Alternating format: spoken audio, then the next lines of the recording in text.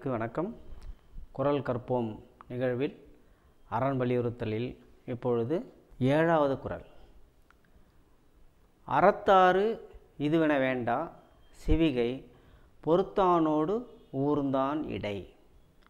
அறத்தாறு இதுவென வேண்டா சிவிகை பொறுத்தானோடு ஊர்ந்தான் இடை. இதில் சிவிகைன்னு ஒரு சொல் வருதுங்க. இது வந்து புதிய சொல்லாக உங்களுக்கு தெரியும். சிவிகைன்னா பல்லக்கு. பல்லக்கு வந்து மன்னராட்சி காலத்தில் இருந்தது. இப்போது கோயில்களில் சுவாமி வந்து அந்த ஊர்வலம் வர்றதுக்கு அதில் சாமி வச்சுட்டு தூக்கிட்டு வருவாங்க. அங்கே தான் இப்போ பார்க்க முடியுது. மன்னராட்சி காலத்தில் வந்து அப்போது பல்லக்கு இருந்தது. பல்லக்கில் ஊர்ந்து செல்பவன். அந்த பல்லக்கை சுமந்து செல்பவன்.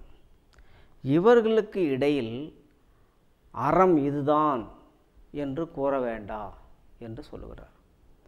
அதாவது பல்லக்கை சுமப்பவனுக்கும் அதில் அமர்ந்து செல்பவனுக்கும் இடையில் அறத்தின் வழி இதுதான் என்று கூற வேண்டாம் ஏனெனில் அது அறமன்று. அது அறம் இல்லை. அது ஒரு காலத்தில் என்ன நம்பிக்கை இருந்ததுன்னா பல்லக்கில் உட்காந்து போகிறவன் புண்ணியம் பண்ணவன். அந்த பல்லக்கை தூக்கிக்கிட்டு போகிறவன் பாவம் செய்தவன். இது அவனவன் கர்மவினை பயன் என்று கூறப்பட்டது. அதை மறுத்து தான் அது அல்ல அறம். அது அல்ல அறம் என்று இந்த குரல் மூலம் சொல்லுகிறார். இது பல்லக்கு வருகின்ற குரல். அறத்தாறு இதுவென வேண்டா. சிவிகை பொறுத்தானோடு ஊர்ந்தான் இடை. அப்போ எது அறம் என்றால் அழுக்காறு அவாவெகுளி இன்னா சொல் நான்கும் இழுக்காய் என்றது அறம். நல்ல நெறிகள் தான் அறம். ஒருவன் மனம் தூய்மையாக இருத்தல் தான் அறம். ஒருவன் உண்மை பேசுவது தான் அறம். ஒருவன் ஒழுக்க நெறியில் வாழ்வதுதான் அறம். ஒருவன் பிறருக்கு நன்மை செய்வதில் தான் அறம் அடங்கியிருக்கிறது. சமுதாயத்துக்கு ஒட்டுமொத்த சமுதாயத்துக்கும் உதவிடன் பொருட்டு தான் அந்த அறம் அமைகிறது. தீயவை செய்வதற்கு அறம் துணை போகாது. ஆக அறம் என்றால் பல்லக்கில் அமர்ந்து செல்பவன் அவன் புண்ணியம் செய்தவன் அவனே அறம் செய்தவன் தூக்கிட்டு போகிறவன் பாவம் செஞ்சவன் அப்படின்னு அதில் நீங்கள் தான் அறத்தை பார்க்காதீங்க. இது வள்ளுவர் காலத்தில் அப்படி ஒரு சம்பவம் நடந்திருக்குது. பார்ப்பா அவர் வந்து உக்காஞ்சம் போகிறவர் எவ்வளோ புண்ணியம் செய்தவர். அதனால தான் அவர் பல்லக்கில் உக்காஞ்சிக்கிட்டு போகிறாரு அதை நாலு பேர் தூக்கிக்கிட்டு போகிறாங்க இல்லையா? அவங்கெல்லாம் பாவம் செய்தவங்க. அவங்க வந்து என்று சொல்லுவது இது அறம் கிடையாது. அது அறமற்ற செய அது கிடையாது அறம். ஒரு மனிதன் வாழ்நாளில் தன் மனதில் குற்றமற்றவனாக இருக்க வேண்டும். தன் மனதில் தூய்மையானவனாக இருக்க வேண்டும். நல்ல சிந்தனை உடையவனாக இருக்க வேண்டும் நல்ல மனம் படைத்தவனாக இருக்க வேண்டும் இனிமையாக பேசுவனாக இருக்க வேண்டும் உண்மை பேசுவனாக இருக்க வேண்டும் என்று சொல்கிறார் நல்ல தன்னம்பிக்கை உடையவனாக இருக்க வேண்டும். அவன்தான் அறம் ஒழுக்கமுடையவனாக இருக்க வேண்டும் நம்பிக்கை உடையவனாக இருக்க வேண்டும் நினைவாற்றல் உடையவனாக இருக்க வேண்டும். பலருக்கு நன்மை செய்யக்கூடிய ஒட்டுமொத்த சமுதாயத்துக்கும் நன்மை தரக்கூடிய ஒரு சிறந்த ஒப்புரவு நிறைந்த மாந்தனாக விளங்க வேண்டும். அதுதான் அறம். இவை அறம் கிடையாது என்று தெல்ல தெளிவாக சொல்லுகிறார். அறத்தார் இதுவென வேண்டா சிவிகை பொறுத்தானோடு ஊர்ந்தான் இடை. எட்டாவது குரல் முப்பத்தி எட்டு வீழ்நாள் படாமை நன்றாற்றின் அக்தொருவன் வாழ்நாள் வழியடைக்கும் கல்.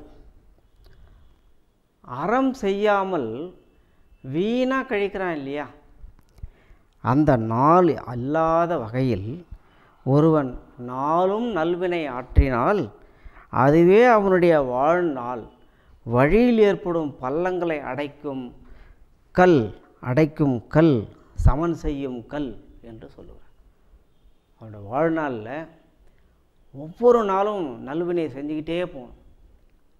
அப்போது அந்த வாழ்நாளை அடைக்கின்ற ஒரு கல்லாக அந்த பள்ளங்களை சமன் செய்கின்ற கல்லாக அது அமையும். எனவே ஒரு நாள் கூட ஒல்லும் வகையான அரவினைன்னு சொன்னார் இல்லையா? இங்கே பாருங்கள் வீணால் நீ ஒரு மனிதன் காலையில் எழுந்துட்டேன். அன்றைய கடமை என்ன? வேலை என்பது செய்யலாம் செய்யாட்டி போகலாம் கடமை செய்தே தீர வேண்டும். காலையில் எழுந்து தன்னுடைய கடமைகளை ஒழுங்காக செய்வதும் ஒவ்வொரு நேரத்துக்கும் அந்தந்த சரியான நேரத்தில் சரியான கடமை அன்று ஒரு நாள் இருபத்தி நான்கு மணி நேரம் என்றால் அதை அப்படியே பிரிச்சுக்கணும். அதை பிரித்து கொண்டு உறங்குவதற்காக ஒரு ஏழு மணி நேரம் ஒதுக்கணும் மற்றதெல்லாம் வந்து நீங்கள் பயனுள்ள வழிகளில் தான் நீங்கள் செலவு பண்ணணும். படிக்கிறது நான் முற்றோதல் பண்ணுறது திருக்குறள் ஆத்தி சுடி முற்றோதல் பண்ணுறது படிக்கிறது எழுதுறது ஓடுறது நான் பிற அம்மா அப்பாவுக்கு உதவுறது நான் வீட்டு வேலை செய்கிறது தன் துணியை தானே துவ துவச்சிக்கிறது அங்கேயே அறம் தொடங்கணும். வீட்டிலேயே அறம் தொடங்க வேண்டும். பெண் பிள்ளைங்க தான் வீடு பெருக்கணும் இல்லை. ஆண் ஆம்பளை பசங்களும் வீடு பெருக்கணும். ஆம்பளை பசங்களும் சாமான் துறக்கணும். அம்மா அப்பாவுக்கு உதவியாக இருக்கணும். கடைங்களுக்கு ஓடு ஒடியார எல்லா வேலையும் எல்லாருமே செய்யணும். இல்லை இல்லை நான் பெருக்க மாட்டேன். நான் எனக்கு எந்த வேலை கிடையாது. அதையெல்லாம் சொல்லக்கூடாது. எல்லா வேலையும் எல்லா குழந்தையிலேருந்தே தயார் பண்ணணும். வீடு சாமான் தொலைக்கிறதுலேருந்து பெருக்கிறதுலேருந்து எல்லா வேலையும் ஆம்பளை பசங்களையும் பழக்கப்படுத்தணும். அதுபோல் இருந்தால் தான் வந்து அறம் அங்கேயே தொடங்குது. வாழ்நாளாக தொடங்கணும். ஒரு மனிதன் ஒரு நாள் முழுக்க பார்த்திங்கன்னா அவன் அவன் படிப்பது சிந்திப்பது ஓடுவது பொழுது கழிப்பது அவன் பயனுள்ள நேரத்தை செலவு பண்ணணும். வீணாக பொழுதாக வந்து உட்காந்து திண்ணையில் உட்காந்துட்டு அரட்டை அடிக்கிறது செல்ஃபோனை நோண்டிக்கிறது தேவையில்லாமல் சினிமா சீரியல் பார்த்துங்கிறது இப்படிலாம் வந்து நம்ம பண்ணக்கூடாது. உருப்படியான நம்ம பணியை நம்ம செய்யணும். அது வந்து இந்த சமுதாயத்துக்கு பயன்படணும் குடும்பத்திற்கு பயன்பட வேண்டும் நம்முடைய அப்பா அம்மாவுக்கு பயன்படணும் நம்முடைய தாத்தா பாட்டிக்கு பயன்படணும் நம்ம ஊருக்கு பயன்படணும் நம்ம பகுதிக்கு பயன்படணும் தனக்கும் பயன்படணும். ஆக அதுதான் வந்து வாழ்நாள். அப்போ வீணாக கழிக்கக்கூடாது என்று சொல்லுகிறார் திருவள்ளுவர். மிக சிறந்த குரலுங்க இது. ஒரு மனிதன் தன்னுடைய வாழ்நாளை ஒவ்வொரு நாளும் எடுத்துக்கங்க. இருபத்தி நாலு மணி நேரம். அதில் உறங்குற நேரம் போக மற்ற நேரங்கள் பயனுள்ள வகையில் நாம் செலவு செய்த வேண்டும். வீணாக உக்காஞ்சின்னு பொழுது கழிக்கிறது அரட்டடிக்கிறது அதெல்லாம் கூடாதுங்க. அதையெல்லாம் அப்படி இருந்தால் மாற்றிக்கும். இன்னையிலிருந்து இந்த நிமிடத்திலிருந்து திருக்குறளை வள்ளுவர் சொல்லிட்டார். ஒரு மனிதன் பயனுள்ள நாளை கழிக்கணும். வீணால் படாமை நன்றாற்றின் அக்தொருவன் வாழ்நாள் வழியடைக்குங்கள். அவனுடைய சிறப்புகளை அவனுக்கு பெருமை சேர்க்கின்ற விதமாக அந்த பள்ளங்களை அடைக்கும் கல்லாக அந்த கல் விளங்கும். மிக சிறந்த குறப்பாகும் ஒன்பதாவது குரல் புலம். அறத்தான் வருவதே இன்பம். அறத்தான் வருவதே இன்பம். மற்றெல்லாம் புறத்த புகழும் இல்லை அறநெறியில் வருவதுதான் இன்பம். அதுதான் நிலைத்த இன்பம். மற்றதெல்லாம் புறத்த புகழும் இல்லை அது புகழ் அல்லாதவை. அவை புறத்த என்று சொல்கிறார். ஒருவன் அறநெறியில் வாழ்வதின் பயனாக வருவதுதான் உண்மையான இன்பமாகும். மற்ற வழிகளில் வருவனையெல்லாம் இன்பமும் அல்ல புகழும் அல்ல அற நல்ல வழியில் சேருகின்ற பணம் தான் நம்ம கையில் நிற்கும். நம்ம கையில் நிற்கும் திடீர்னு வந்து வந்து வர்ற பணங்கள் அடுத்தவனை ஏமாற்றிட்டு பிடுங்குற பணம் நான் லஞ்ச லஞ்ச பணம் எந்த வகையிலையோ ஒரு ஏமாற்றி வருகின்ற கையில் கிடைக்கிற பணம் நிற்காது நேரு வழியில் சம்பாரித்து நம்முடைய உழைப்பால் கிடையாது அதுதான் நிற்கும் அதே சமயம் நம்ம வந்து வீணாக வந்து ஆசைப்பட்டுனே இருக்கக்கூடாது. தேவையில்லாதெல்லாம் வாங்கி போடக்கூடாது. அப்போ கடங்காரனாக தான் ஆகணும். அப்போ தேவைக்கு பொருள் தேவை. அப்போ இந்த மாதிரியான திட்டமிட்டு நம்ம வாழ்க்கையை வந்து நம்ம நடத்தணும். இது ஒரு வாழ்வியல். திருக்குறள் வந்து நம்ம ஏதோ மனப்பாடம் பண்ணுறோம் நம்ம படிச்சிடுறோம் அப்படின்றது போகக்கூடாது. ஒவ்வொருத்தரும் அது வாழ்க்கையில் பின்பற்றணும். அறநெறி தான் வாழ்க்கைக்கு வந்து இன்பத்தை கொடுக்குன்றது தான் மிக சிறப்பாக அழுத்தம் திருத்தமாக சொல்கிறார் இந்த குரலில். அறத்தான் வருவதே இன்பம். மற்றதெல்லாம் வந்து இன்பம் கிடையாது. அது புகழும் கிடையாது.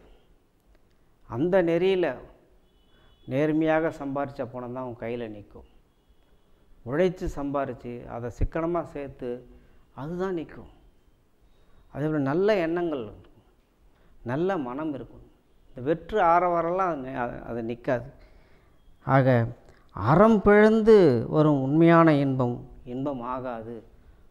அறம் பிறழாத ஒரு வாழ்க்கை ஒரு மனிதன் வாழ வேண்டும் என்று மிக சிறப்பாக சொல்கிறார் அறம் சார்ந்த இன்பம் ஒருவனுக்கு புகழையும் இன்பத்தையும் தரும். அறம் சார்ந்த இன்பம் ஒருவனுக்கு புகழையும் இன்பத்தையும் தரும். எனவே உண்மையான இன்பத்தையும் புகழையும் விரும்புபவன் அறத்தின அறத்தினிருந்து பிறழ்வது இல்லை. உண்மையான புகழ் வர வேண்டும் என்று சொல்ல. அதுலேருந்து போக மாட்டான். இப்போ கூட பாருங்கள் விளையாட்டில் கூட பார்த்தீங்கன்னா கூட திடீர்னு ஏதோ ஒரு சூழ்ச்சி பண்ணி கெடுத்து விட்றாங்க.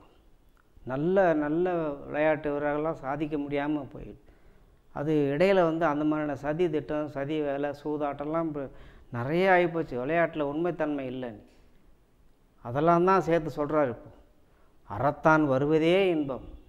மற்றெல்லாம் புறத்த புகழ்மில்லை. உண்மையாக வந்து வெற்றி இலக்கை வைத்து அது குறிக்கோளோட உடற்பயிற்சி செய்து அவன் ஓடி வெற்றி பெறுகிறான். அவன் ஓட அந்த அதுதான் உண்மையான வெற்றியாகும். இடையில அரசியல் சதி அந்த சதி இந்த சதின்னு போட்டு அப்படிலாம் பண்ணுறதுலாம் உண்மையான வெற்றி ஆகாது. அறம் சார்ந்த இன்பம் தான் ஒருவனுக்கு எப்போது நிலைத்த புகழை தரும் என்பது இந்த குரல் மூலம் அலையலாம் எனவே நாம் வாழ்க்கையில் அறநெறியோடு வாழ்தல் வேண்டும். மனம் தூய்மையாக இருத்தல் வேண்டும் என்று இந்த குரல் உணர்த்துகிறது. கடைசி குரல். செயற்பாலதோறும் அரணே ஒருவர்க்கு உயர்பாலதோறும் பழி. ஒருவன் வாழ்நாளில் முயற்சி மேற்கொண்டு செய்யத்தக்கது அறமே. ஒரு மனிதன் வாழ்நாளில் முயற்சி செய்து செய்யத்தக்கது அறமே. செய்யாமல் காத்து கொள்ளத்தக்கது பழியே. நீ பழியான செயலுக்கு செல்லப் போகிறாயா? நீ புகழான செயலுக்கு செய்ய செல்லப் போகிறாயா? ரெண்டு கேள்வி. அப்போ அறநெறியில் போனால் உனக்கு புகழ் கிடைக்கும். அதை தவறிட்டுட்டேன் அந்த நெறியிலிருந்து நீ பிறந்தால் உனக்கு பழிதான் கிடைக்கும். அப்போ ஒரு மனிதன் அறத்தோடு வாழ வேண்டும். மனம் மொழி மெய் ஆகியவற்றின் செய்யப்படுவன யாவும் அறமே ஆகும். செயற்பாலது எது உயர்பாலது எது என்பதற்கு செயற்பாலது என்றால் உயர்ந்த அறம் உயர்ந்த சிந்தனை உயர்ந்த இலக்கு உயர்ந்த லட்சியம் பெரிய பெரிய அதான் ஐயா அப்துல் கலாம் மகளுடைய மக்களின் குடியரசுத் தலைவர் ஆபேஜி அப்துல் கலாம் ஐயா அவர்கள் என்ன சொல்கிறாங்க உயர்ந்த சிந்தனை உனக்கு கனவு காணுங்கள் என்று சொன்னார். கனவு காணுங்கள். அதுதான் வந்து உங்களுடைய இலக்கை வெகு விரைவில் அடைய வைக்கும். கனவு காண தூங்கிட்டு கனவு காண்றதில்லை. லட்சிய கனவு. உன்னை உறங்க விடாமல் செய்வது தான் கனவுன்னார். உறங்கச் செய்வது கனவல்ல. உறங்க விடாமல் செய்வது தான் கனவுன்னார். ஆக உயர்ந்த அறம் என்பது உயர்ந்த கனவு. ஆக செயற்பாளது என்றால் உயர்ந்த அறம். உயர்பாலது என்றால் கீழான பழி. உயர்பாலது பழி. செயற்பாலது அறம். மிக தெளிவான குரலுங்க இது. மிக தெளிவான குரல். ஓரும் என்பது அசைநிலை. செயற்பாலதோறும் அரணே ஒருவருக்கு உயர்பாலதோறும் பழி. ஒருவனுக்கு பழியா அல்லது புகழா என்றால் அவன் புகழ்நிலை வாழ வேண்டும். அவன் பெருமையோடு வாழ வேண்டும். ஒரு மனிதன் மேன்மையோடு வாழ வேண்டும் ஒரு மனிதன் சிறப்போடு வாழ வேண்டும் ஒரு மனிதன் செல்வத்தோ செல்வத்தை பெற்று வாழ வேண்டும் வையத்தில் வாழ்வாங்க வாழ வேண்டும் என்றால் அவன் இந்த அறநெறியை பற்றி பின்பற்றி அவன் நடக்க வேண்டும் பின்பற்றி அவன் ஒழுக வேண்டும் பின்பற்றி நடந்தால்தான் சிறப்பும் செல்வமும் ஒருங்கே மேன்மையும் அடைய முடியும் என்று கூறி முடிக்கின்றேன். நன்றி வணக்கம்.